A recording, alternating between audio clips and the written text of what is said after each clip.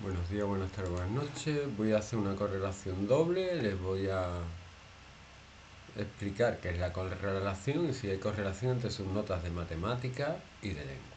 ¿Vale? Pego sus datos. Correlación. Cociente correlación. Datos 1. Pues las notas de matemática. Datos 2. Pues las notas de lengua cuidadito de seleccionarlo bien